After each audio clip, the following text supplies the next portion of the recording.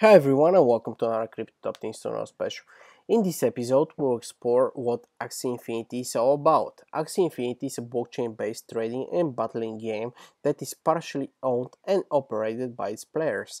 Inspired by popular games like Pokemon and Tamagotchi, Axie Infinity allows players to collect, breed, race, battle, and trade token-based creatures uh, known as Axies. These Axies can take various forms, and there are more than 500 different body parts available, including aquatic, beast, bird, bug, plant, and reptile parts.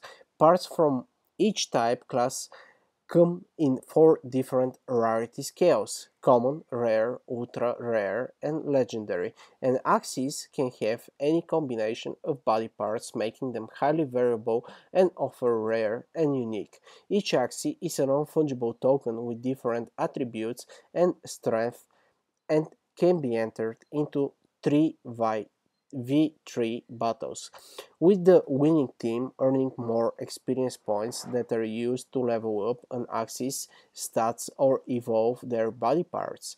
These Axies can be bred together to produce new and unique offspring, which can be used or sold on the Axie marketplace. The Axie Infinity ecosystem also has its own unique governance token known as Axie Infinity Shards or AXS. These are used to participate in key governance votes and will give holders a say in how funds in Axie Community Treasure are spent.